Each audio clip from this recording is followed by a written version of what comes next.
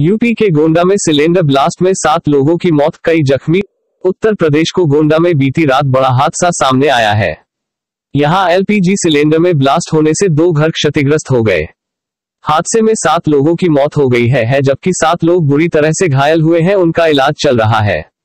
घटना गोंडा के वजीरगंज स्थित टीकरी गाँव की है। घटना के बारे में गोंडा के एसपी संतोष कुमार ने बताया कि 14 लोगों को घटनास्थल से बाहर निकाला जा चुका है।